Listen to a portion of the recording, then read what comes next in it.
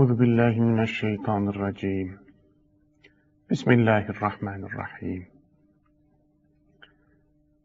Değerli dostlar, bugün tefsir dersimizde Bakara suresine başlayacağız. Bakara suresi adını sure içerisinde yer alan 67. ve 73. ayetler arasında aktarılan İsrail oğullarıyla ilgili bir olaydan almakta. Bakara inek anlamına geliyor. İnşallah ilgili ayetlere gelince bu sureye adını veren bu olayı birlikte işleyeceğiz. Bakara suresinin indirildiği zaman hemen surenin tamamı hicretten sonraki ilk iki yılda indirilmiştir. Bu sureyi anlamamız için sürekli göz önünde tutmamız gereken bir olgu. Çünkü ayetlerin indiği toplum, yani Kur'an'ın ilk muhatabı olan insanlar, elbette ki Kur'an'ın iniş sürecinde ciddi bir biçimde yer almaktalar. Onun için de ayetleri iyi anlamak için ayetlerin ilk muhataplarının yaşamlarını, hayat tarzlarını, taleplerini, arzularını, hatalarını, yanılgılarını, yine ayetlerin ilk muhatabı olan toplumun yapısını, o toplumun sosyal taleplerini, o toplumun akidevi, inanca müteallık yapısını iyi bilmemiz gerekiyor. Onun için de bu surenin indiği zamanı hicretten sonraki ilk iki yıl olarak vurgulamam çok büyük önem arz etmekte. Tabii ki surenin son ayetleri nübüvvetin son yılında nazil olmuştur. Yani hicretten sonra ilk iki yılda nazil oldu derken, biz surenin kahir ekseriyetinin hicretten sonraki ilk iki yılda nazil olduğunu söylemiş oluyoruz. Hatta bu surede yer alan 281. ayetin son inen ayet olduğu yolunda da görüşler var. Surenin önceki sureyle teması konusunda da bir şeyler söylemem gerekirse, Fatiha suresi, Bakara suresi ile ciddi bir biçimde ilişkili. Bu surenin Kur'an'ın tedvininde Fatiha suresinden sonra yer almış olması tesadüfi değil. Hatırlayacaksınız Fatiha'da ihdine sıratel müstakim. Bizi dost doğru yola ilet. Bize dost doğru yola kılavuzluk et diye dua ederken Bakara suresinde adeta bu duaya cevap verilircesine Elif Lam Mim Zalikel kitab İşte bu kitap La raybe fi kuşku olmayan kendisinde bu kitap hudellil muttaki. Allah bilincine ulaşanlar için bir hidayettir. Bir kılavuz, bir rehberdir. Yani siz Fatiha'da Allah'tan bir kılavuz, bir rehber istiyorsunuz sizi doğru yola yönlendirecek. Allah da size duanızı kabul edip al. İşte bu kitap senin arzu ettiğin, senin benden istediğin rehberdir, kılavuzdur buyuruyor. Tabi Fatiha ile Bakara arasındaki ilişki sadece bununla sınırlı değil. Yine hatırlayacaksınız Fatiha suresi tefsirinden, Fatiha'nın son ayetini Peygamberimiz gayril mağdubi aleyhim velettallin kendilerine gazaplanılanlardan ve sapıtanların yolundan götürme bizi. Duasında kendilerine gazaplanılanlar, yani gazaba uğrayanları, Yahudileşen İsrailoğulları, sapıtanları da Hristiyanlaşan Hz. İsa ümmeti olarak tefsir etmişti. İşte Resulullah'ın bu tefsiri Bakara suresinde olabildiğince açılacak. Bu surede yaklaşık 120 ayet İsrailoğullarının nasıl Yahudileştiğini bize anlatacak. Onun için de Bakara suresi adeta Fatiha'nın bir tefsiri niteliğinde. Sadece o kadar değil. Aslında Bakara suresi Kur'an'ın bir fihristi niteliğinde. Hazır söz buraya gelmişken surenin muhtevası konusunda da birkaç söz söylemem gerekiyor. Bakara suresi girişinde öncelikle inanç kategorilerini ele alarak başlar.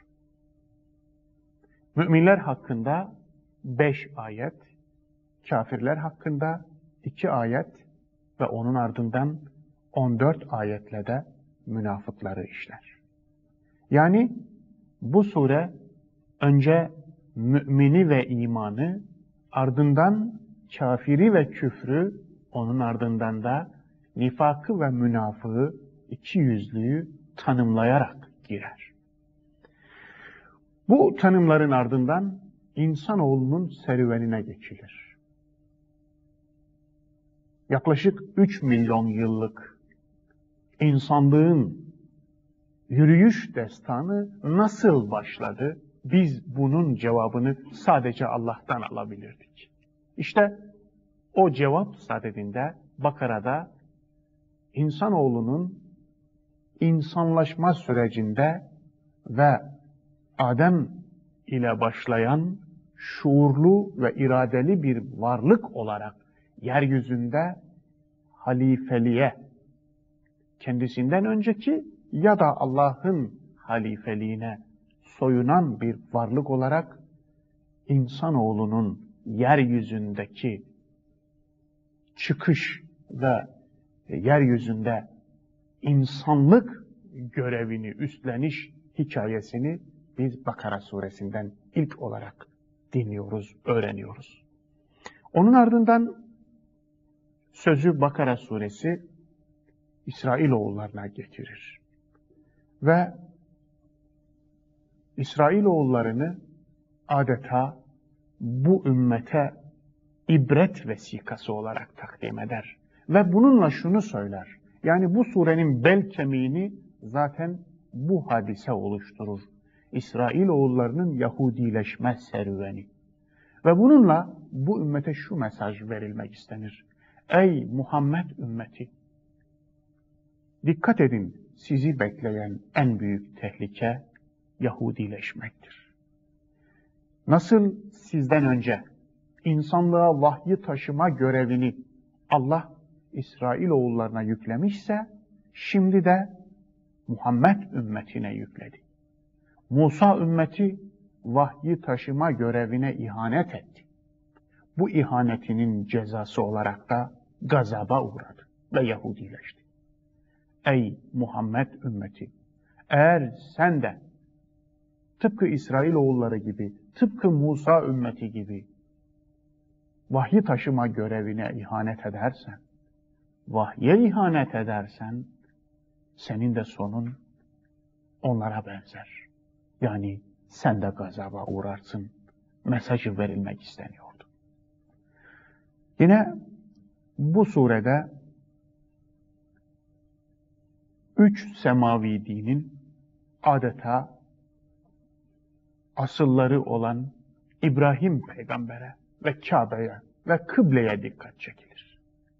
Ve bu surenin verdiği mesajlardan biri de tüm semavi din mensuplarının Allah'ın koyduğu semboller etrafında birleşmesidir. Bu sembollerin başında İbrahim peygamber gelmektedir. ki üç semavi dinde kendisini bu peygambere nispet eder. Yine Allah semavi din mensuplarının tümüne adeta İbrahim peygamberin eliyle yapılan Kabe'yi merkez olarak gösterir.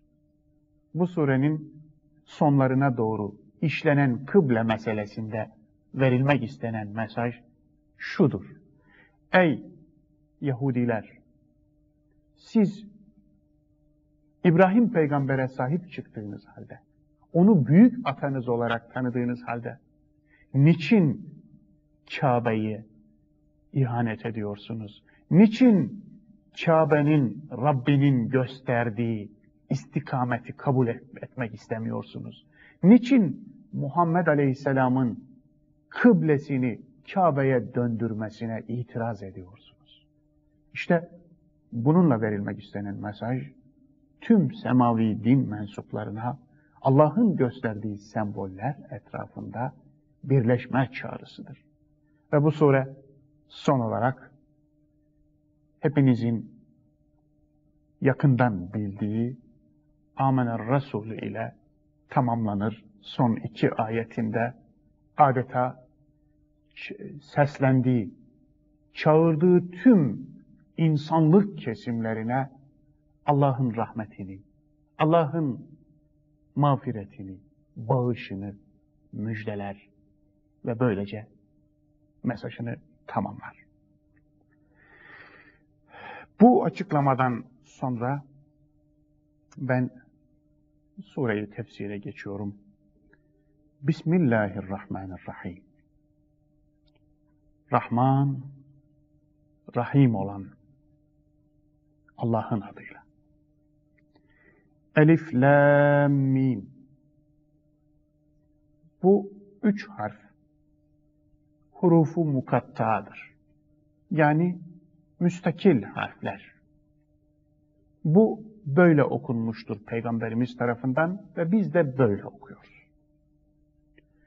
Bu tür harfler Kur'an'da 29 surenin başında gelir. Bu harflerin toplamı tamamı yani 14 harften oluşmuştur. Hurufu mukatta Arap alfabesinin yarısına denktir. Yani 28 harfli Arap alfabesinin 14 yarısı olan 14 rakamına denk bir biçimde tüm hurufu mukatta harfleri 14 harften oluşur. Yine hurufu mukattayı oluşturan harfler birli ile beşli arasında değişir. Ya birlidir ya ikilidir. Birlidir nun gibi. Kaf gibi. İkilidir hamim gibi. Taha gibi. Yasin gibi. Üçlüdür elif, la, mim gibi. Dörtlüdür, beşlidir. Bu Arap dilinin yapısına da bir göndermedir aynı zamanda. Çünkü Arap dilini oluşturan tüm kelimeler de bir ile beş arasındaki harflerden müteşekkildir. Ya birlidir, ya ikilidir, ya üçlüdür, ya dörtlüdür, ya beşlidir. Altılı bir, altı harfli bir kelime bulunmaz Arap dilinin yapısında. Dolayısıyla buradan da oraya bir gönderme vardır. Bu harflerin anlamı konusunda tüm müfessirler arasında çok uzun yorumlar yapılmış ve tartışmalar olmuş. Hadizatında aslı saadette bu harflerin anlamı olarak ne söylenmiş diye sorulacak olursa Peygamberimizden bu harflerle ilgili bir rivayet göremiyoruz. Sahabeden gelen rivayetler de farklı. Hz. Ebu Bekir'den gelen rivayette her kitabın bir sırrı var.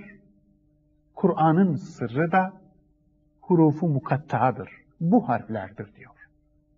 Yine Hz. Ali'den buna benzer bir rivayet var. Diğer iki halife Hazreti Ömer ve Osman'dan da buna benzer bir görüş aktarıldığı iletiliyor mühessirler tarafından.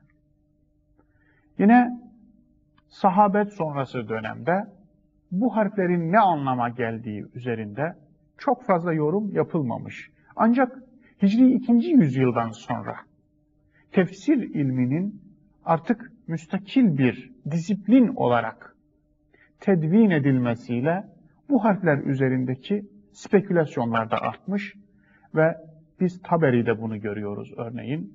Taberi tefsirinde bu harflerle ilgili sayfalar dolusu uzun yorumlar aktarır.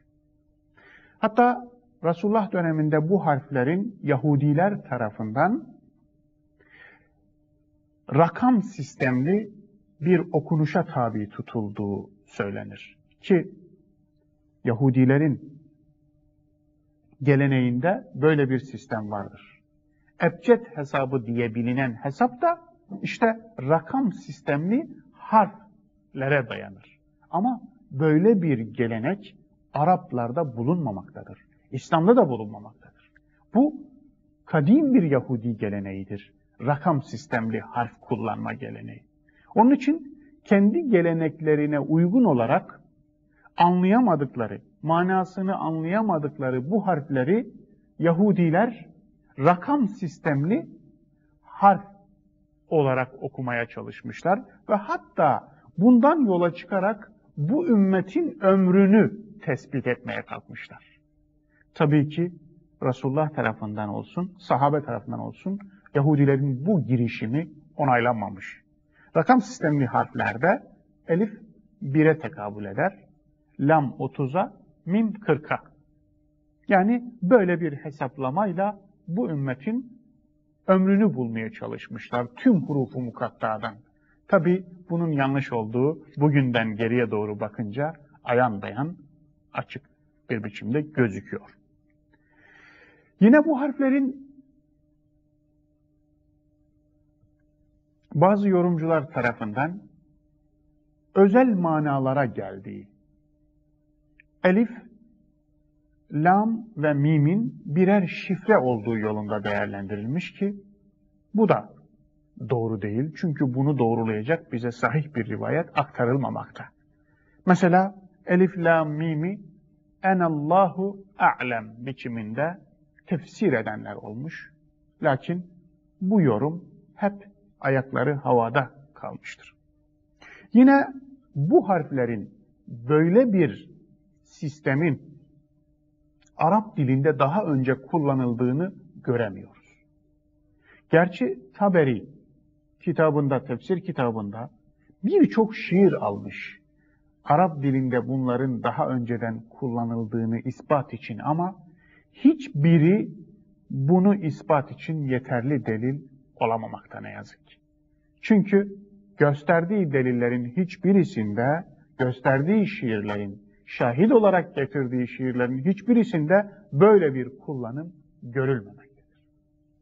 Bizdeki Hüseyin'e Hüso, Abdullah'a Apo, Mehmet'e Memo denildiği gibi Araplarda Salih'e Salih, Harise Hari denildiğini göstermiş delil olarak ki bununla hurufu mukatta arasında hiçbir ilişki göremiyorum ben.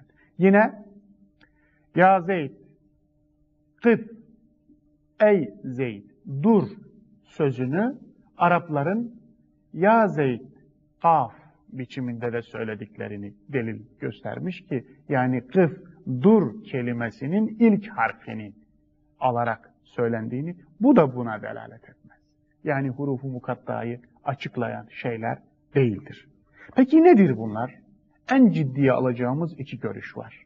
Birincisi Hz. Ebu Bekir'den biraz önce naklettiğim görüş ki o görüş her kitabın bir sırrı vardır. Bu da Kur'an'ın sırrıdır. Dikkat edin, müteşabihi değil. Bendeniz müteşabih olarak görmüyorum. Çünkü müteşabih mecaz olandır. Yani içinde teşbih olandır. Bu harfler manası tamamıyla bilinmeyen harfler olması hasebiyle Müteşabih değil, Hz. Ebu ifade ettiği gibi sırdır. Ama ondan da önemli olan ikinci bir görüş var ki, bu görüş başta Şabi, Katade, Zemahşeri, İbn Teymiye gibi birçok alimin ortaklaşa görüşüdür. O da şudur. Bu harfler Kur'an'a delalet etmektedir. Lafza delalet etmektedir. Daha doğrusu Kur'an'ın kaynağına delalet etmektedir. Yani bunlar eğer Latince alfabeyle söyleyecek olursak A, B, C anlamına gelir. Ya da alfabeden herhangi bir harf seçmeye benzer. Bununla şu söylenmek istenmiştir ki bunu ilk yazılan tefsire ilişkin ilk yazılan kaynaklardan biri olan Ebu Ubeyde'nin Mecazül Kur'an'ı doğrulamakta. Bunlara huruful heca yani hece harfleridir denilmekle yetiniliyor. Başka hiçbir açıklamada yapılmıyor ilk yazılan bu en ciddi Kur'an araştırmasında. Bunlar hece harfleridir. Bunların delaleti tamamen Kur'an'a yöneliktir. Yani bu harflerin başında olduğu 29 sure incelenecek olursa bu surelerin tamamının ilk ayetleri hep vahyin önemini vahye atıfla Allah'ın vahyini öne çıkararak başlamaktadır. Biz de buradan anlıyoruz ki bu harfler vahyin mahiyetine dikkat çekmekte. Vahyin önemine, Kur'an'ın kaynağına dikkat çekmektedir. Burada özellikle bu yorumdan yola çıkarak iki soru sormak gerekiyor. Bir, bu harflerin anlamı nedir? İkincisi, bu harflerin işlevi nedir? Bendeniz son olarak tercih ettiğim ve benimsediğim görüşü işte bu iki soruya cevap sadedinde şöyle dile getirmek istiyorum. Bu harflerin anlamını sadece Allah bilir. Bu manada Hz. Ebu Bekir'in söylediğiyle bu söylediğim şey örtüşmektedir. Bu harflerin eğer bir anlamı varsa ki mümkündür onu sadece Allah bilir. Lakin işlevi nedir sorusuna gelince bu harflerin kesinlikle işlevi vardır. İşlevi vahye dikkat çekmektir. Ve meydan okumaktadır. İşte elinizde tuttuğunuz bu kitap sizin de bildiğiniz ve kullandığınız harflerden meydana geliyor. Eğer becerebiliyorsanız, eğer gücünüz yetiyorsa, haydi siz de bu harfleri kullanarak böyle bir kitap yazın da görelim denilmek istenmektedir adeta. Adeta vahyin kaynağına dikkat çekilerek bakınız. Bu vahiy insanlık dünyasına bu sizin bildiğiniz, insanların kullandığı, insanların vaz ettiği, ortaya koyduğu harflerle ulaştırıldı. Ancak bu harflerle ulaştırılan manaların ilahi olduğunu siz de görüyorsunuz. Eğer bunun kaynağı hakkında şüphe ediyorsanız siz haydi bunun gibi bir metin yazın da görelim diye bir meydan okumadır diye düşünüyorum. ذَٰلِكَ الْكِتَابُ لَا رَيْبَ ف۪يهِ Hani Fatiha'da İhtine sıratel müstakim diye Rabbimizden bizi dost doğru yola ulaştır diye dua etmiştik ya. İşte o şu anda cevabını buluyor o duamız ve Allah bu kitabı uzatıyor. İşte bu kitap kendisinde kuşku olmayan bir kitap. Hudellil muttaqin. Müttakiler için hidayettir. Bu la rayb'deki rayb kelimesi kuşku anlamına gelir. Bu hangi anlamda anlaşılması gerekir diye sorulacak olursa, yine bu surenin hemen 20 üçüncü ayetinde ve in kuntum fi raybin mimma nazzalna ala abdina fa'tu bi suratin min mislihi ved'u şuhada'akum in kuntum sadık. Min dunillahi in kuntum sadık. Eğer siz kulumuza indirdiğimiz şeyden kuşkulanıyorsanız, şüpheleniyorsanız, haydi şahitlerinizi de getirerek, Allah dışındaki tüm şahitlerinizi de toplayarak onun gibi bir sure getirin. Onun bir benzerini getir. Diye meydan okumaktadır. Orada kullanılan, o ayette kullanılan şüphe ile bu ayette kullanılan şüpheyi birbiriyle tefsir etmek gerekirse o zaman burada kendisinde şüphe olmayandan kasıt bu kitabın kaynağının ilahi olduğunda şüphe olmayan biçiminde açıklanır.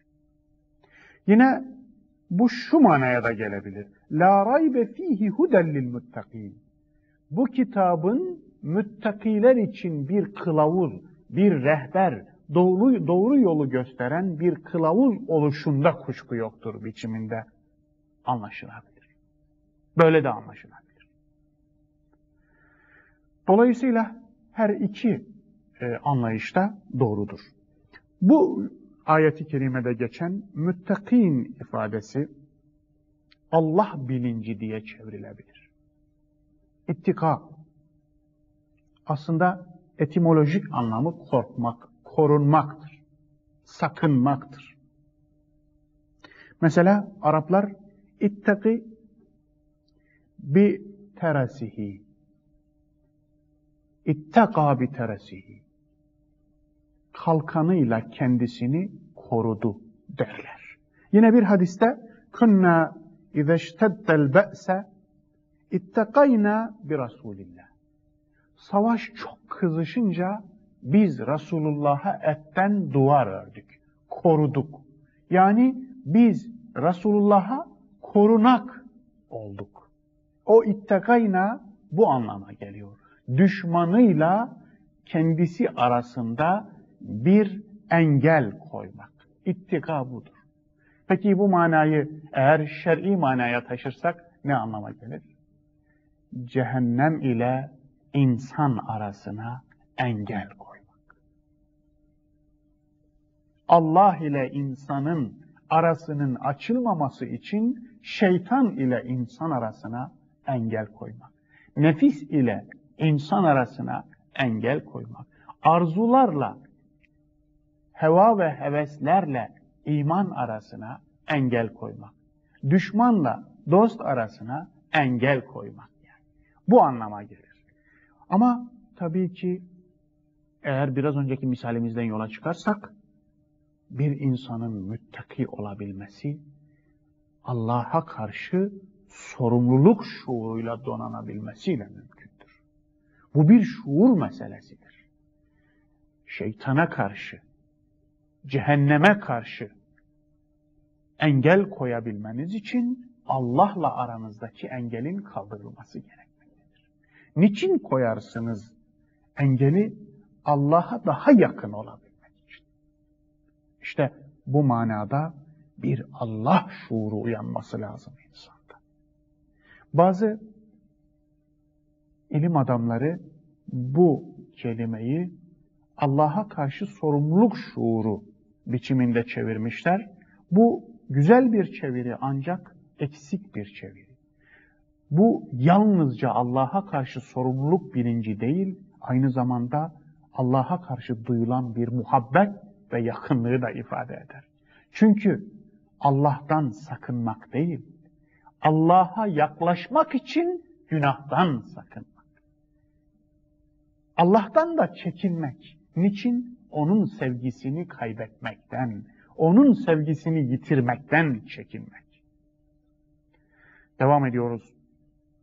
اَلَّذ۪ينَ يُؤْمِنُونَ بِالْغَيْبِ وَيُقِيمُونَ الصَّلَاةَ وَمِمَّا رَزَقْنَاهُمْ يُنْفِقُونَ O müttakiler ki, Allah bilincine ulaşan insanlar ki, gayba iman ederler. Yani idrak edemedikleri hakikatlerin olduğunu kabul ederler varlık alemindeki tüm hakikatleri sadece beş duyu yoluyla idrak edemeyeceklerine inanırlar. Ya da beş duyunun hakikati bilmede sadece beş duyunun ya da aklın yeterli olamayacağını idrak eder ve inanırlar.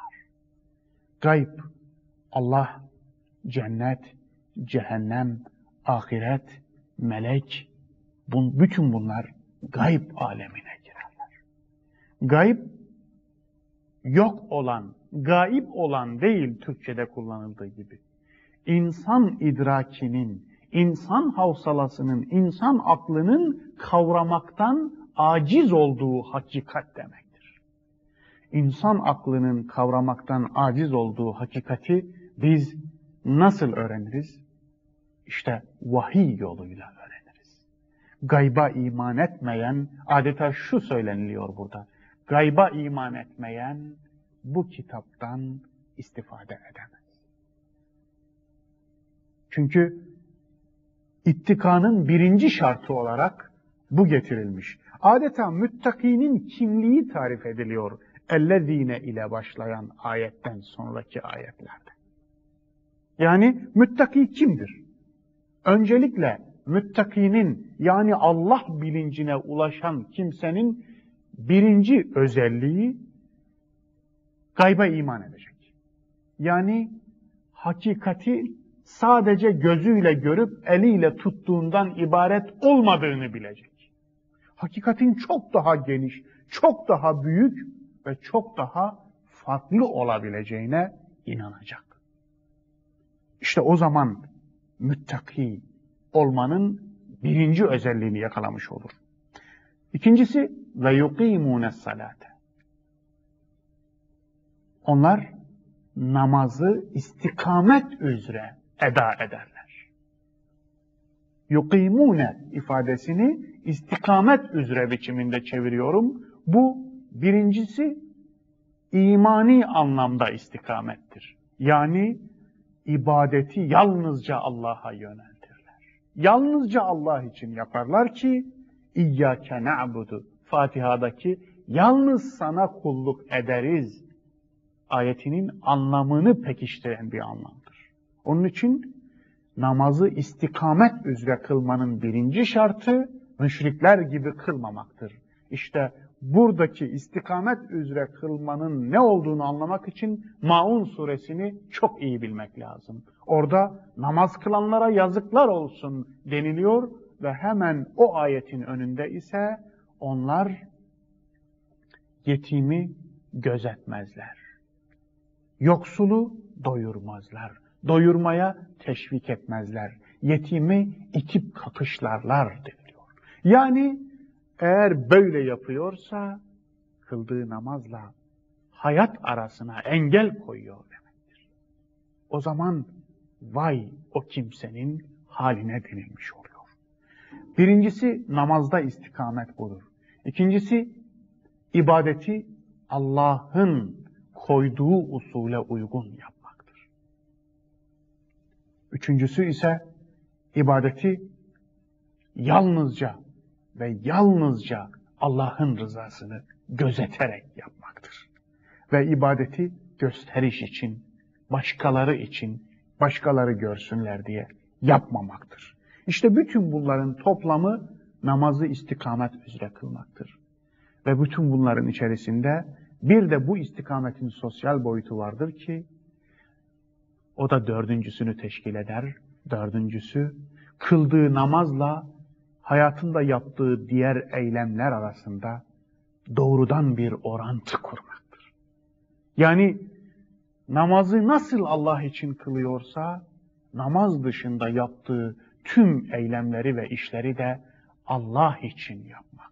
Yani bir hayatı Allah için yaşamak anlamına gelir. İşte namazı istikamet üzere kılanlar, müttakilerin ikinci vasfı. Üçüncüsü, ve mimma razaknahum yunfikun.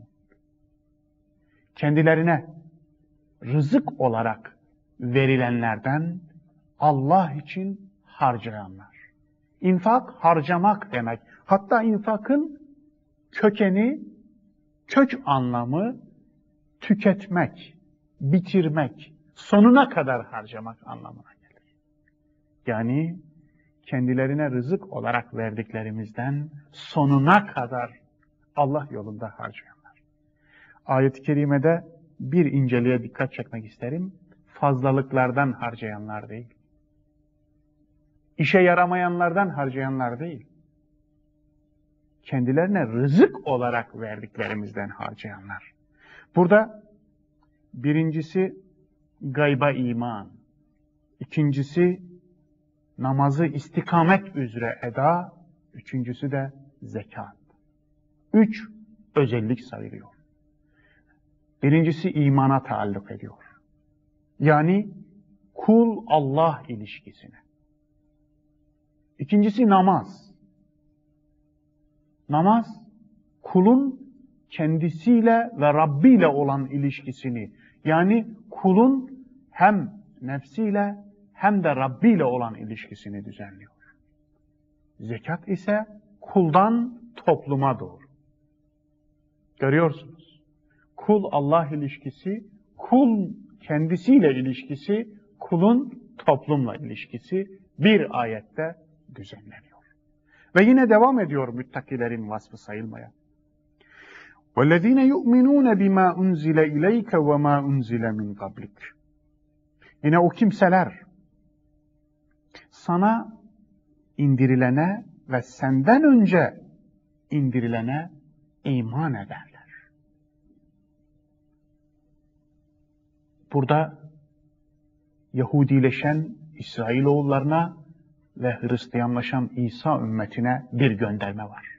Çünkü onlar Museviler İsa ve Muhammed aleyhisselama inanmıyorlar. İsevilerse Muhammed aleyhisselamı inkar ediyorlar.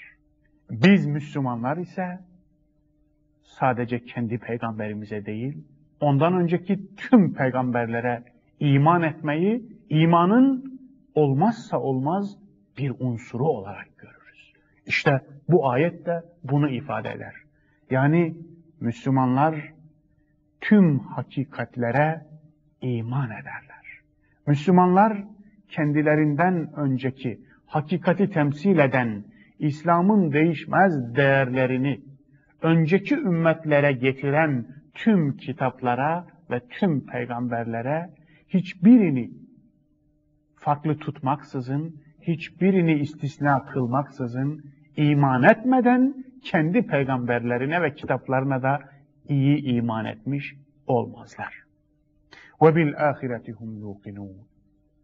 Ve müttakilerin beşinci özelliği, dördüncüsü Allah'ın Resulüne ve ondan önceki indirilenlere iman, beşincisi ahirete yakin derecesinde iman. Ve bil ahiretihum yuqinun. Yani buradaki yuqinun yakin derecesinde iman. Zaten yakin buradan geliyor. Aynı kökten. Hakkal yakin, aynel yakin ve ilmel yakin diye yakini üçe ayırmışlar. Yani bir şeyi bilgiyle bilmek, bir şeyi gözle, görerek, gözlem yoluyla bilmek ve bir şeyi yaşamak, yaşar gibi bilmek. İşte ahireti de görmedikleri halde, bizzat gözlemlemedikleri halde sanki yaşar gibi inanmamız isteniyor. Onun için de o bil ahiretihum yuqinun. Onlar ahireti adeta yaşar gibi ahirete inanırlar. İşte böyle yapan müttakiler için ne var? O da burada geliyor. Ulaike ala huden min rabbihim. Bütün bunları kendisinde taşıyanlar, bu özellikleri barındıranlar ala huden min rabbihim. Rablerinden kendilerine lütfedilmiş bir hidayet üzeredirler. Ve ulaike humul muflihun. Allah'ın kılavuzladığı, Allah'ın kılavuzluğunda, Allah'ın yoluna koyulan insanları bekleyen son ise gerçekten hakiki bir mutluluktur. Ve ulaike humul muflihun.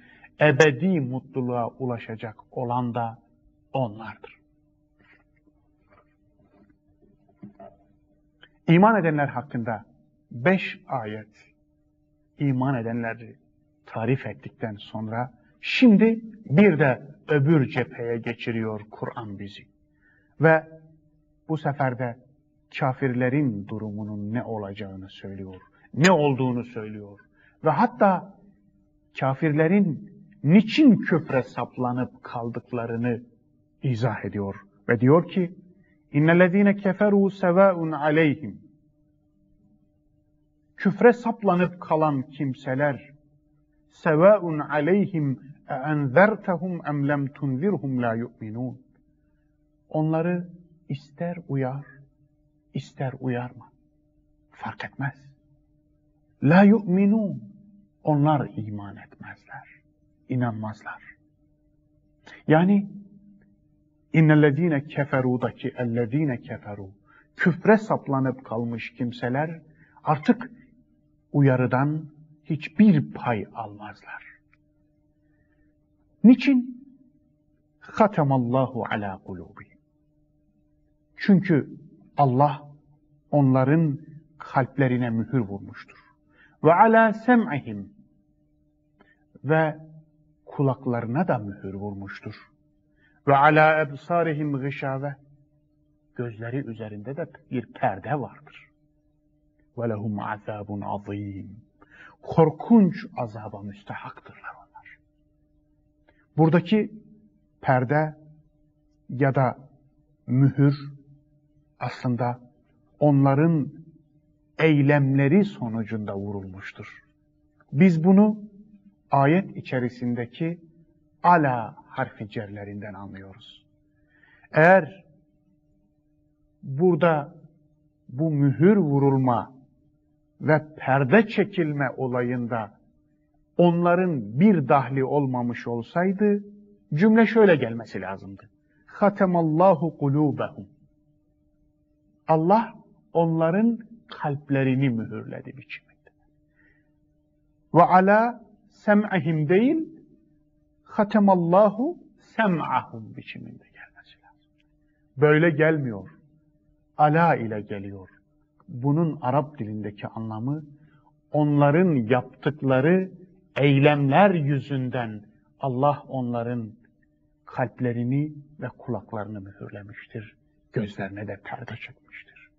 Bu mühürlenme bizim bildiğimiz fiziki bir mühürlenme değil elbette. Hakikate karşı kör ve sağır davranmak. Gerçeği gördüğü halde görmezden gelme. Duyma lakin işitmeme. Bakma lakin görmeme. Kalbi olduğu halde hissetmeme.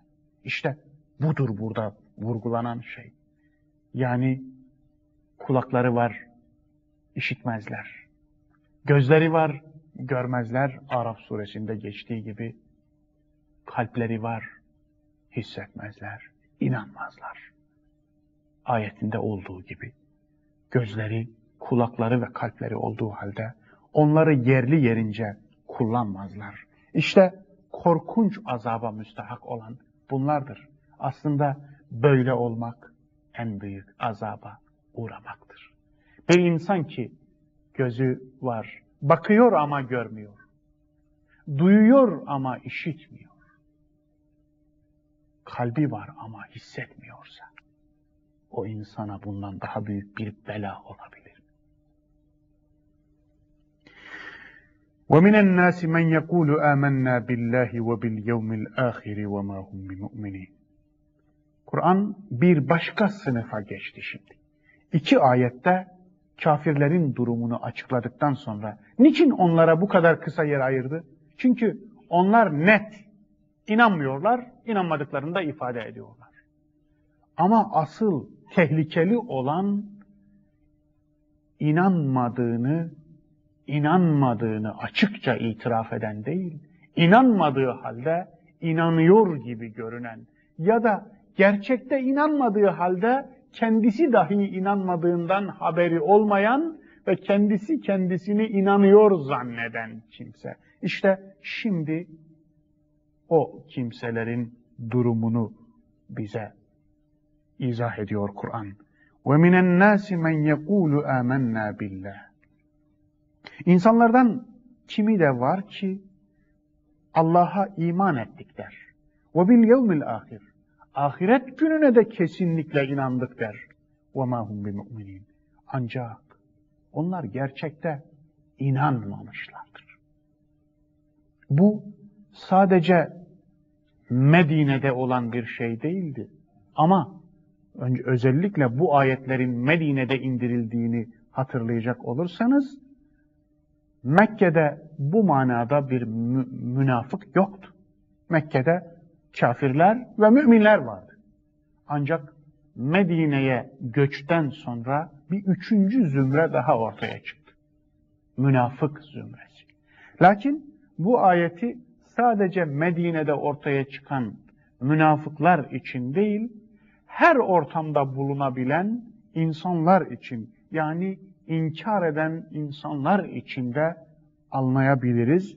Çünkü kendisini inanıyor zannettiği halde gerçekte inanmama eylemi sadece münafıklara has bir şey değildir. Bu noktada belki de bugün insanımızın en büyük problemi budur. Yani kendisini inançlı olarak tanımlıyor.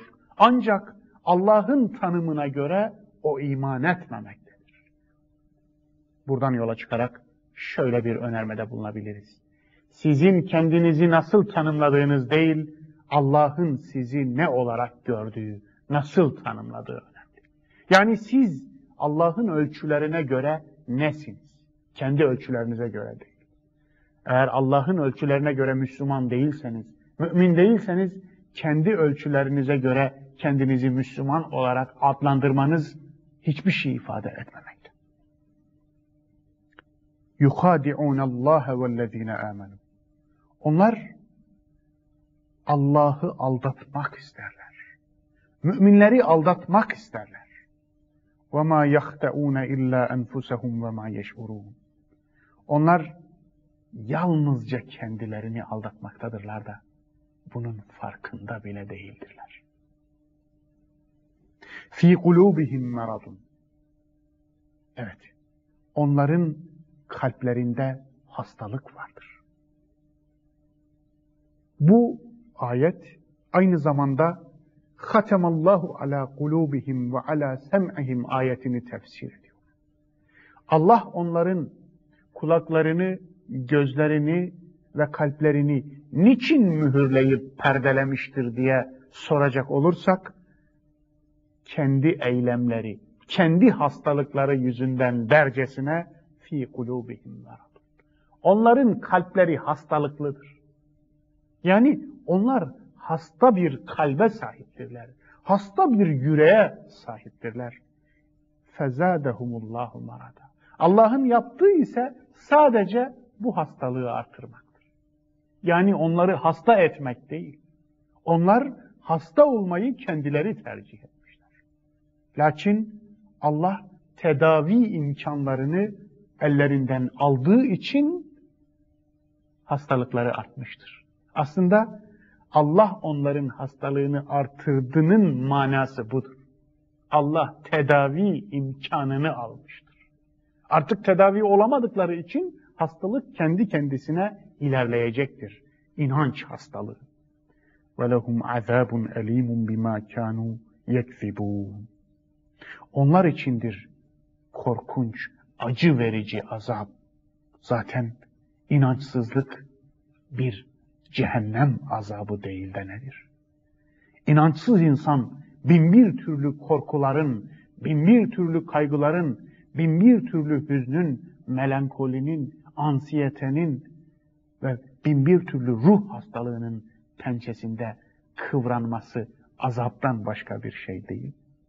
Onun için inançsızlık başlı başına bir azaptır. Cehennem azabından beter bir azap.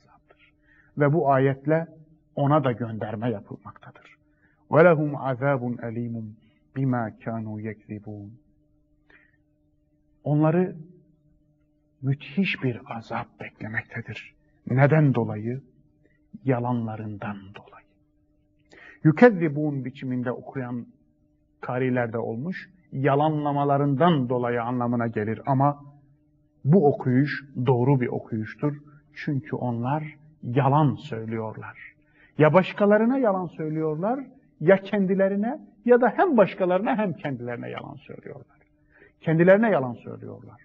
Gerçekte Allah'ın tanımına göre iman etmedikleri halde kendilerini iman etmiş görerek, zannederek kendilerine karşı yalan söylüyorlar, kendilerini aldatıyorlar. İşte yukarıda olduğu gibi. Onlar yalnızca kendilerini aldatıyorlar. Allah'ı değil. Çünkü kendileri Allah'ın dediği gibi iman etmediği halde iman etmiş zannediyorlar. Onun için de aldanıyorlar. Ve izâ qîle lehum lâ tufsidû fil ard. Kendilerine yeryüzünde fesat çıkarmayın denildiği zaman قَالُوا اِنَّمَا نَحْنُ مُصْلِحُونَ Cevap verirler. Biz yalnızca ıslah edicileriz, ıslahatçılarız derler. Yani düzeltiyoruz, istikrarı sağlıyoruz derler. İşgal ederler bir toprağı. ya siyasal olarak işgal ederler, ya bizatihi fiili olarak askeri güçle işgal ederler, ya da kültürel olarak işgal ederler. İşgallerinin sebebini sorduğunuzda istikrarı sağladığını söylerler. Ya da çağdaşlığı getirdiklerini söylerler.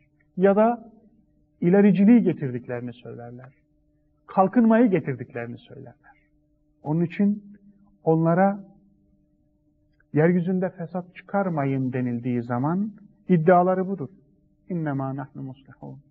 Biz sadece ıslahatçılarız. Ala innehum humul mufsidûne velâkin lâ yeş'urûn. Fakat dikkat edin. Aman ha anlamına gelir ela. Aman ha. Kesinlikle iyi bilin ki onlar ortalığı karıştıranlar, fesada verenler, düzeni bozanlardır. Lakin farkında değiller. Demek ki burada asıl problem bize karşı iddiaları değil, kendilerinin kendi mahiyetleri hakkındaki yanlış yargılar. Yani kendileri daha kendilerini tanımıyorlar. Kendileri için yanlış hüküm veriyorlar. Farkında değiller ne yaptıklarının. Söyledikleri ıslah ediyoruz. Düzenliyoruz. Biz düzeltiyoruz diyorlar. Hatta buna samimi niyetle de inanıyor olabilirler. Bu hiçbir şeyi değiştirmiyor. Bu daha büyük bir suç oluyor. Hem bizi kandırıyorlar hem de kendilerini kandırmış. Eğer inanmadıkları halde, ıslah etmediklerini bildikleri halde, düzeni bozduklarını bildikleri halde söyleseler bunu sadece bizi aldatmış olacaklar. Ama eğer ıslah ettiklerini, düzeni sağladıklarını iddia ediyorlar ve buna kendileri de inanıyorsa bu sefer bu iki kat hata oluyor. Çünkü kendilerini de aldatmış oluyorlar. İşte onun içinde velakin la yeşhurun. Farkında değiller. İzâ qîle lehum âminû kemâ âmenen nâsu qâlû enu'minu kemâ âmenes sufehâ. Kendilerine adam gibi, şu insanlar gibi iman edin denildiğinde derler ki biz beyinsizler gibi mi inanıyoruz? Yani bununla tevriyeli bir manada adeta şu iki anlama geliyor. Bir, biz de adam gibi inanıyoruz. Yani Müslümanlara karşı biz de adam gibi inanıyoruz. Kendi yandaşlarına karşı şu inanan beyinsizler gibi mi inanacağız? Anlamına gelen iki anlama gelebilecek tevriyeli bir cevap verirler. Enu'minu kema amene süfeha. Şu beyinsizler, şu ayak takımı gibi mi inanıyoruz? Ya da inanacağız. Ela innehum humus sufaha'u velakin la yahlem. Dikkat edin. Ha, onlar beyinsizlerin ta kendileridir. Lakin bilmiyorlar. Ve izâ lekullezîne âmenû kâlû âmennâ. Kendilerine ciddi olarak iman edin denildiğinde derler ki biz kesinlikle ciddi olarak iman ettik. Ve izâ halev ilâ şeyatînihim. Şeytanlarıyla baş başa kaldıklarında, kendi yandaşlarıyla ya da kendi öz benlikleriyle baş başa kaldıklarında, nefisleriyle baş başa kaldıklarında derler ki قَالُوا inna ma'akum innema nahnu müstehzi'un. Biz sizinle beraberiz. Biz onlarla dalga geçiyorduk. Onları alaya alıyorduk derler. Allahu yestehzi'u Allah onların alaylarına karşılık verir. Verecek. Allah onların alaylarına Allahu yestehzi'u bihim karşılık verecek. Ve yemudduhum fi tuğyanihim ya'mehun ve terk edecek onları küstahlıklarıyla baş başa şaşkın şaşkın debelenecekler. Ya'mehun şaşkın şaşkın debelenecekler. Ulaikellezine işteravud dalalete bil huda. Böyle yapanlar. İşte böyle yapanlar var ya. Onlar hidayeti verip karşılığında sapıklığı almışlardır. Hidayeti verip karşılığında sapıklığı satın almışlardır. فَمَا رَبِحَتْ تِجَارَتُهُمْ Onların ticaretleri kar etmemiştir. Yani bu ticaret sonucunda hiçbir getiri elde edememişlerdir. وَمَا كَانُوا مُهْتَد۪ينَ Onlar doğru yolu bulacak da değiller. Burada bu ayetlerle ifade edilen insan tipi adeta kendi kendisini ve başkalarını anlatan hem kendisine yabancı hem Allah'a yabancı bir insan tipidir. Kendisine yabancılaşmış. Çünkü kendisini tanımıyor. Kendisini tanısa belki Allah'ı da tanıyacak. Kendisine yabancı çünkü kendisi hakkındaki hükümleri isabetsiz. Kendisi hakkında yanlış hüküm veriyor. Aynı zamanda zalim. Çünkü kendisi hakkında haksız hükümler veriyor. Kendisini olmayan bir yerde gösteriyor ve görüyor. Tabii ki Allah'a da yabancı. Kendine yabancı olduğu için. Allah'a da yabancı çünkü hakikati öğrenmek için bir gayret yok. Öyleyim zannediyor. Bilmediğini bile, bilenler bir gün öğrenirler. Ama bildiğini zannedenler hiçbir zaman öğrenemeyecekler. İnanmadığını bilenler bir gün inanabilirler. Ancak inanmadığı halde Allah'ın tanımladığı gibi inanmadığı halde, Allah'ın tanımına göre mümin olmadığı halde kendisini inanıyor zannedenler ebediyen. İşte mühürlenmek budur. İşte perdelenmek budur. İşte bu ayetler bu tipi çiziyor. İnanmadığının dahi farkında olmayan, farkında olmadığı için de bir ömür inanmaktan mahrum kalacak olan nasipsiz bir tip. Ve şimdi bu tipin ruh heyecanlarını, bu tipin içinde kopan fırtınaları Allah şu ayetlerle bize beyan ediyor. مَثَلُهُمْ كَمَثَلِ الَّذِي اسْتَوْقَدَ نَارًا Onların misali bir ateş yakan adamın durumu gibidir. فَلَمَّا اَضَاءَتْ مَا حَوْلَهُ ذَهَبَ اللّٰهُ بِنُورِهِمْ وَتَرَكَهُمْ ف۪ي ظُلُمَاتٍ لَا يُبْصِرُونَ o ateşin ışığı ateşi yakan adamın etrafını aydınlatır aydınlatmaz Allah onun görme hassasını, nurunu, göz nurunu alıverir.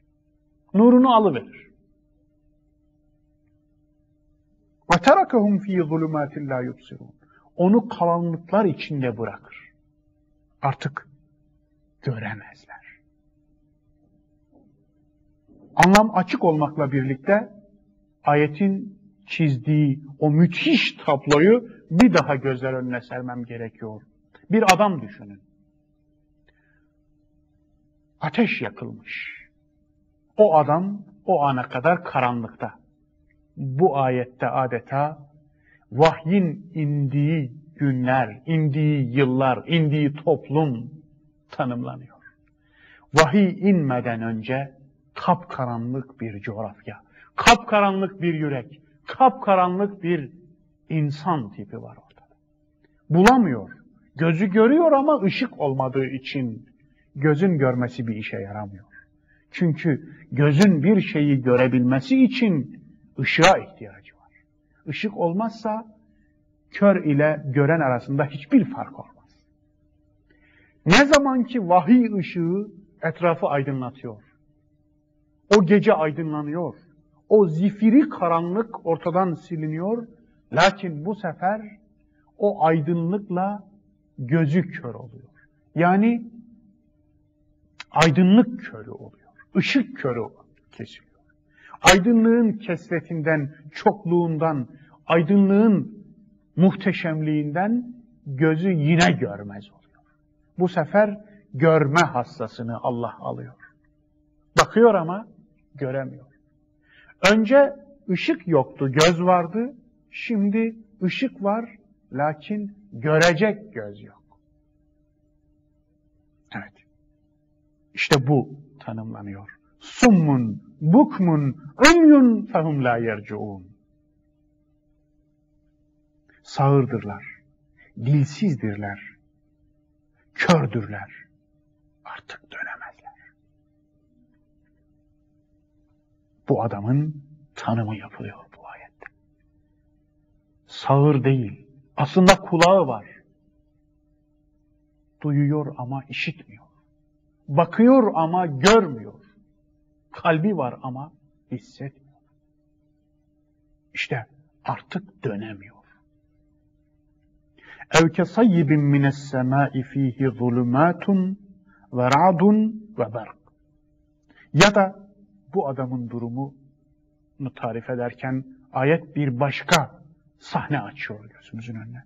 Ev kesayyibin mines gökten inen bir sağanak gibi ya da bu sağanakta karanlıklar var. Gök gürültüsü var, şimşek var. Yec'alûne esâbi'ahum fî âzânihim mines savâiqi hazeral mevt. Gök gürültüsü, şimşek, karanlıklar içerisinde devam eden bu sağanağın altında kalmış bu adam parmaklarını kulaklarına tıkıyor. Ölüm korkusundan kaçınmak için. Mines savaiki hadaral mevt. Yıldırım korkusuyla, ölüm korkusuyla yıldırım çarpar diye parmaklarını kulaklarına tıkıyor. Vallahu muhitun bil kafir. Allah kafirleri çepeçevre kuşatmıştır. Bu ayette anlatılmak istenen manzara gerçekten müthiş bir manzara. Muhatabının kalbinde imansızlığın ne demeye geldiğini ifade etmek için bundan daha güzel bir teşbih bulunamaz. Aslında Arabistan iklimi bu ayette ifade edilen şeylerin çok az görüldüğü bir iklim. Yıldırımlar, gök gürültüsü, şimşek ve sağanak çok az bulunan bir iklim. Ama buna rağmen bu hitap tüm insanlığa hitap olduğu için insanlığa ömründe en az çok sıcak bir iklimde de olsa birkaç kez böyle bir sanağı, böyle bir şimşeği, gök gürültüsünü, yıldırımı gören, gözlemleyen insana işte o durumu bir örnek gösteriyor. Ve bunun altında inanmayan insanı kulaklarını tıkayarak gerçeği görmemeye, gerçekten kaçmaya çalışan biri olarak tarif ediyor. Kulaklarını tıkaması neyi değiştirir ki? Eğer karanlıklar altında, korkunç bir sağanak altında, yıldırımların, gök gürültüsünün, şimşeğin hepsinin birden oluştuğu bir ortamda kala kalmışsanız, kulaklarını tıkamanız neyi değiştirir? İşte kafirin durumu böyledir diyor. Gerçeğe sırtını çevirir. Başını kuma gömer. Gerçeği görmezlikten gelir. Ama bu görmemesi hiçbir şeyi değiştirmez. Ahireti görmezlikten gelir. Allah'ı görmezlikten gelir. Azabı cehennemi görmezlikten gelir. Ama onun cehennemi görmemesi hiçbir şey değiştirmez. Ve akıbet yine onu gelip bulur. Yekâdul berku yaktefu absarahum. Şimşek neredeyse onların gözlerini alacaktı. Biraz önce ışık körlüğü demiştim. İşte onu ima edercesine ayet, ışık körlüğüne tutulan insanları ifade ediyor. Yani vahiy kendisini aydınlattığı halde, Allah kendisiyle konuştuğu halde, Allah kendisine mesaj gönderdiği, Kur'an gibi bir nimete sahip olduğu halde, Kur'an ışığından kaçan yarasalar gibi ışık körü olanlar. Hatta Kur'an'ı elinde tuttuğu halde, hatta Kur'an'ı okuduğu halde Kur'an'la aydınlanamayanlar. Kur'an'ı hayatına koyamayanlar. Kur'an'ı sadece ölülere okuyanlar. Kur'an'ı sadece düğünlerde, bayramlarda, ölümlerde okuyanlar. Onlar da bu işin içine giriyor. Kur'an gibi bir vahyi, bir ışığı ellerinde tuttukları halde bu ışık onların gözlerini açmıyor. Onlara gerçeği göstermiyorsa işte bu ışık körü demektir. Yekadul bergu yaktefu absarahum. Şimşek neredeyse gözlerini alacaktı. Kullama eda'a lehum meşev Ne zaman şimşek gökyüzünü aydınlatıverse yürümeye başlarlar. Ve izâ azleme aleyhim kâmu. Ne zaman da onun ışığı geçse ayakta kala kalırlar Yürüyemez olurlar. وَلَوْ شَاءَ اللّٰهُ لَذَهَبَ بِسَمْعِهِمْ وَأَبْصَارِهِمْ Eğer Allah dileseydi, onların işitme duyularını ve görme duyularını alırdı, alabilirdi.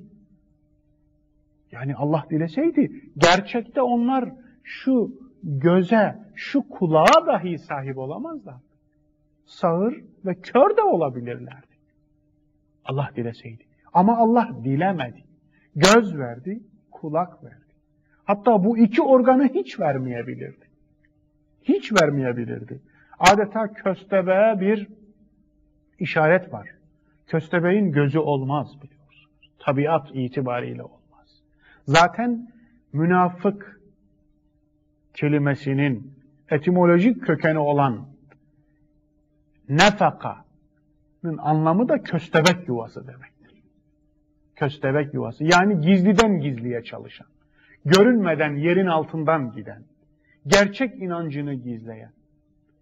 Onun için burada adeta size bu gözü de vermeyebilirdi. Kulağı da vermeyebilirdi köstebek gibi yapardı sizi. Ama gözü ve kulağı verdi ki hakikati göresiniz, gerçeği işitesiniz diye. وَلَوْ شَاءَ اللّٰهُ لَذَهَبَ بِسَمْحِمْ وَأَبْصَارِهِمْ اِنَّ اللّٰهَ عَلَى كُلِّ شَيْءٍ قَدِيرٌ Allah isteseydi eğer onlardan görme ve işitme duyularını tamamen giderebilirdi. Allah istediğini yapmaya güç yetirendir. Ve burada söz bambaşka bir noktaya getiriliyor. Şimdi hitap tamamen tüm insanlığa yönelik olarak söyleniyor ve ya eyyuhen nasu ubudu rabbekumullezî halakakum Ey insanlar!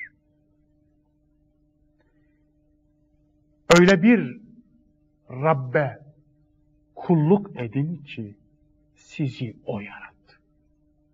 Sizi yaratan Rabbinize gereği gibi kulluk edin. وَالَّذ۪ينَ مِنْ قَبْلِكُمْ Ve sizden öncekileri de yaratan Rabbinize kulluk edin. لَعَلَّكُمْ تَتَّقُونَ Belki bu yolla Allah şuuruna ulaşırsınız. Belki bu yolla korunursunuz, sakınırsınız. Yani Allah'ın koruması altına girersiniz. Güvenlikte olursunuz. Güvenlikte olmanız için kesinlikle sizi ve sizden öncekileri yaratan Rabbinize, yalnızca Rabbinize kulluk etmeniz gerekiyor. Ayette Allah'ın yaratması vurgulanıyor. Bu çok önemli. Çünkü bir başka ayette geçtiği gibi yaratmayan Allah olabilir mi?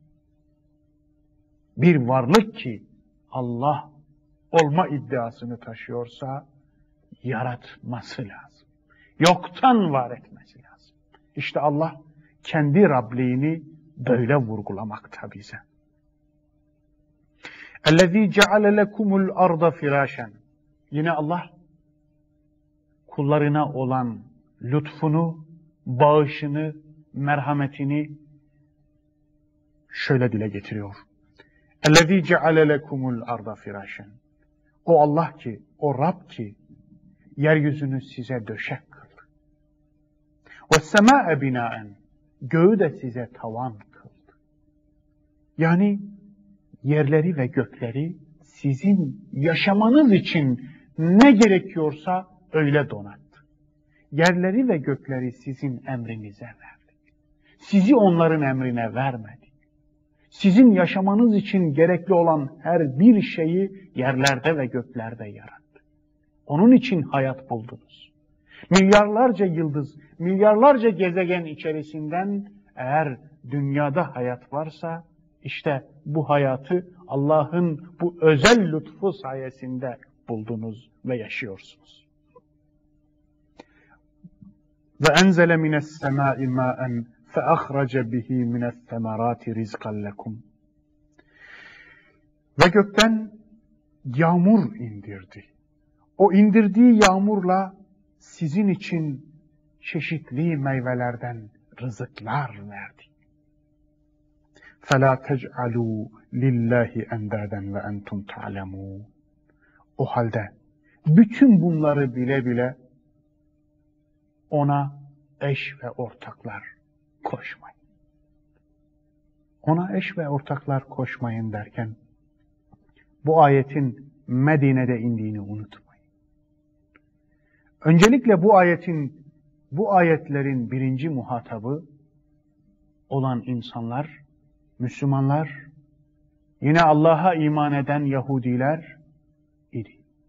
Ancak onlara hitaben birinci muhatapları olan Müslümanlar ve Yahudilere hitaben Allah'a ortaklar koşmayın. Yani buradaki anlam hepimizi ilgilendiren bir ortak koşmadır.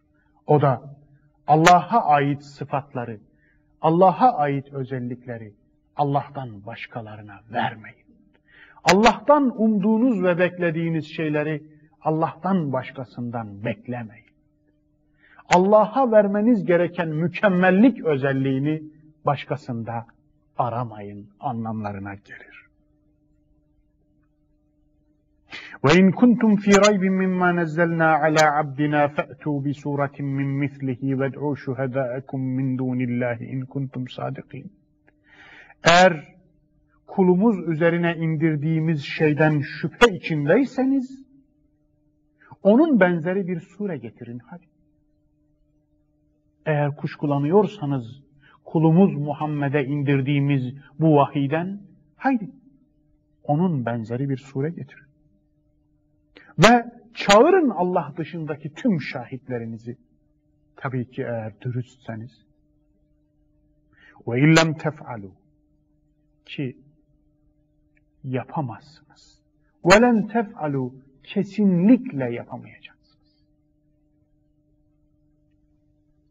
Fettekun nârelleti vekûduhen nâsu vel hicâre.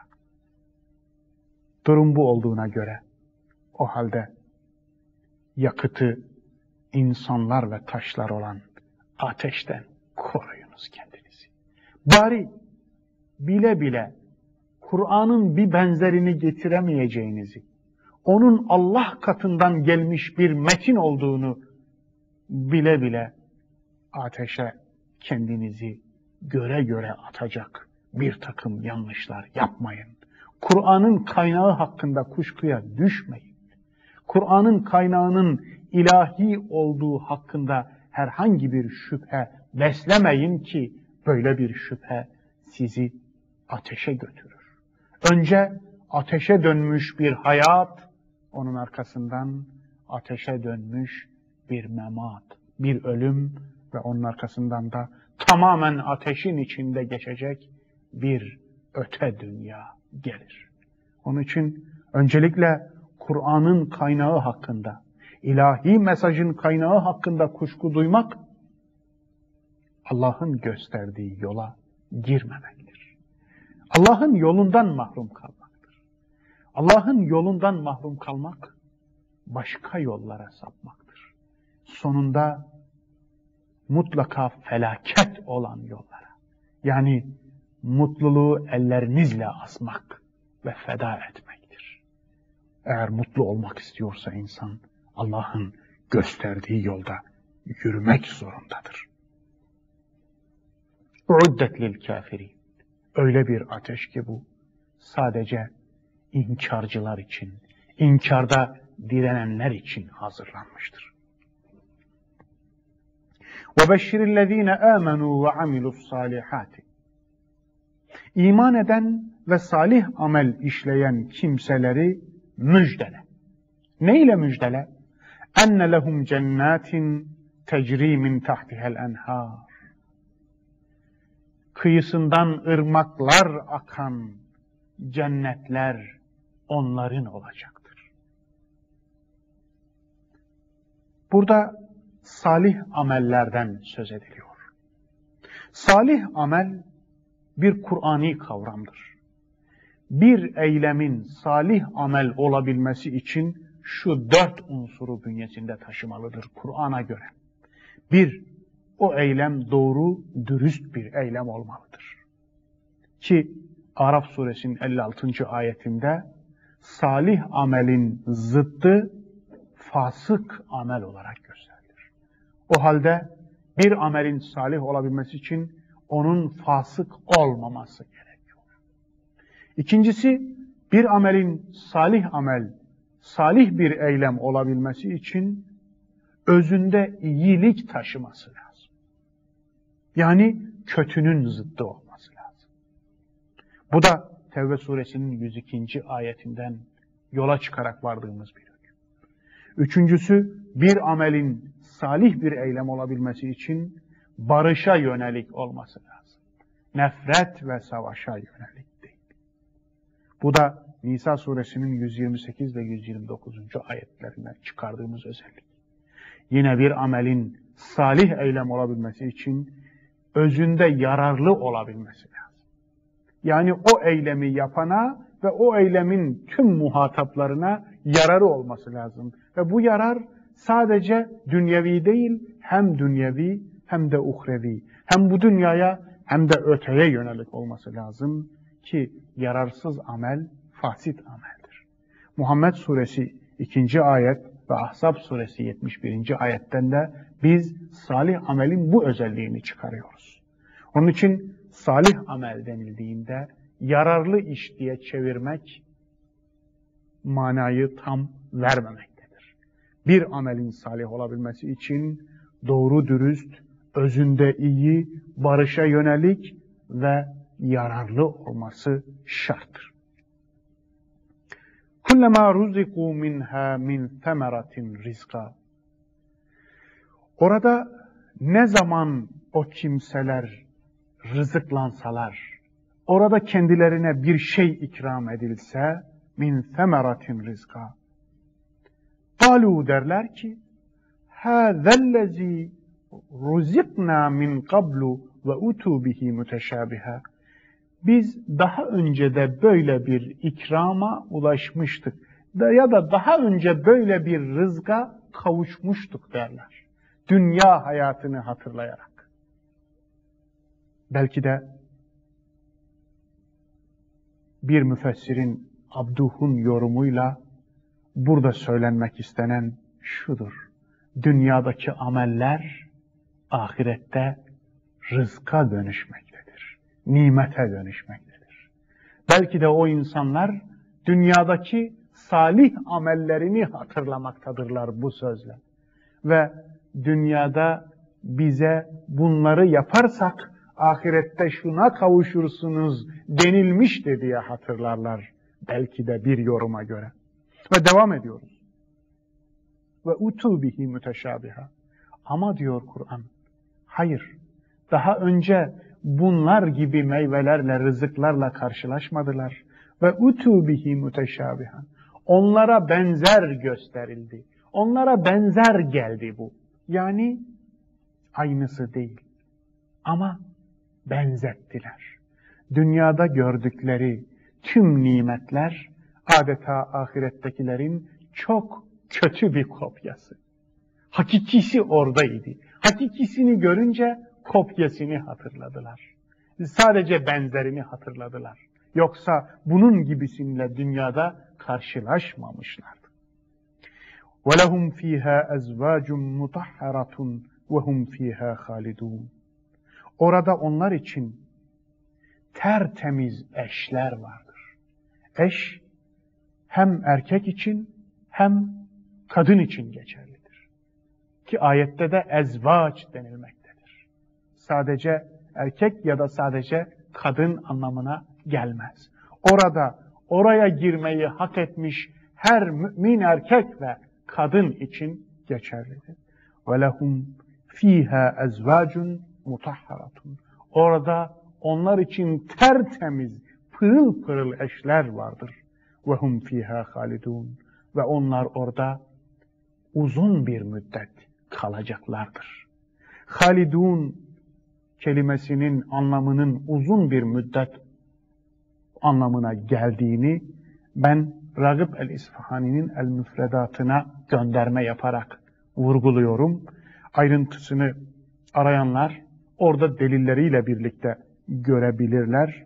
Bu bitimsiz, astronomik sonu olmayan bir süre değil, zaten bu manada sonsuz varlık sadece Rabbimizdir.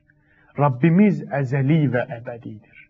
Ancak burada cennete giren insanların orada gerçekten kendilerinin hesaplayamayacağı kadar uzun duracakları vurgulanmaktadır.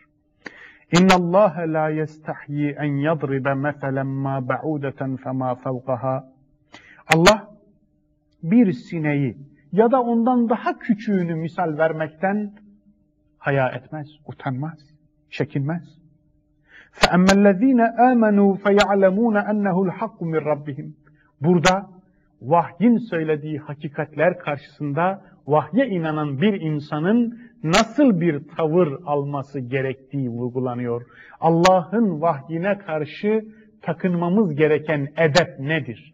Allah bir şeyi söylüyor deyince, Allah buyurdu deyince, ayette şöyle geçiyor deyince bir insan nasıl bir tavır almalı? İşte bu öğretiliyor. فَاَمَّا الَّذ۪ينَ آمَنُوا فَيَعْلَمُونَ اَنَّهُ الْحَقُّ مِنْ رَبِّهِمْ İman edenlere gelince onlar onun Rablerinden gelen bir gerçek olduğunu bilirler. Yani bir sineği dahi, ondan daha küçüğünü dahi Allah vahyinde misal gösterse, iman edenlerin buna karşı tavrı bu Rabbimizden gelen bir gerçektir, tartışmayız derler. وَاَمَّا الَّذ۪ينَ كَفَرُوا Küfre saplanmış olanlara gelince, فَيَقُولُونَ مَاذَا اَرَادَ اللّٰهُ بِهَذَا مَثَلًا Onlar hemen mantığı işin içine katıp Allah'ı sorgulamaya kalkarlar Ve derler ki Allah bununla ne kastetmiş acaba? Yani şimdi bunun ne münasebetle söylenmiş acaba diye Allah'ın vahyine, mesajına itiraz yükseltirler. Yudillu bihi kefiran ve yehdi bihi kefira. Allah işte bununla birçoğunu saptırır ve birçoğunu da hidayete ulaştırır. Gerçekten Kur'an'da öyle ayetler var ki o ayetler bazılarını saptırdığı halde bazılarını hidayete ulaştırmıştır. وَمَا يُضِلُّ بِهِ اِلَّا الْفَاسِقِينَ Fasıklardan, yoldan çıkmış toplumdan başka, yoldan çıkmış olanlardan başkası saptırılmaz. اَلَّذ۪ينَ يَنْقُدُونَ اَحْدَ اللّٰهِ مِنْ بَعْدِ مِيثَاقِهِ Onlar ki Allah'a verdikleri sözden sonra Allah'la olan sözlerini bozdular. Allah'a verdikleri sözü çiğnediler. Ve yaktaun ma emarallahu bihi en yusale ve yufsidun fil ard. Allah'ın birleştirilmesini emrettiği şeyi de parçaladılar. Ve yufsidun fil ard ve yeryüzünde bozgunculuk çıkardılar. Ulaike humul hasirun. İşte sonunda hüsrana uğrayacaklar onlardır. Burada tefsire bugünkü dersime son vermeden önce Allah'ın birleştirilmesi gerektiğini parçalarlar. Birbirinden koparırlar, ayırırlar üzerinde birkaç cümleyle durmak istiyorum. Nedir bu? Bu çok şey olabilir. Allah insan, birbiriyle arasında bağ olan bir varlık iken insan Allah'la bağını koparırsa birleştirilmesi gerekeni ayırmış olur. Allah peygamber arasında bir irtibat vardır. Bu irtibatı koparıp da dini peygambersiz bir din haline getirmeye çalışan işte bu ayetin muhatabıdır. Din dünya arasında bir irtibat vardır. Dini dünyasız, dünyayı dinsiz bıraktığınız zaman Allah'ın birleştirilmesini emrettiğinin siz ayırmış olursunuz. Akıllı vahiy, akıl vahiy arasında irtibat vardır. Aklı vahiysiz, vahiyi akılsız bıraktığınızda işte Allah'ın birleştirilmesi gereken, gerektiği, gerekeni, birleştirilmesini emrettiği şeyi ayırmış olursunuz. Ve kutsal ile profan, eşya ile kutsal olan arasında bir irtibat vardır. Eğer siz eşyayı kutsaldan ayırırsanız o zaman Allah'ın birleştirilmesini emrettiğini parçalamış, ayırmış olursunuz. Özetle din ile toplum arasında bir irtibat vardır. Eğer toplumu dinsiz, dini toplumsuz bırakırsanız işte o zaman da bu ayetin muhatabı olmuş olursunuz ve o zaman toplum da hüsrana gider, bunu yapanlar da sonunda büyük bir mutsuzluğa saplanır kalırlar.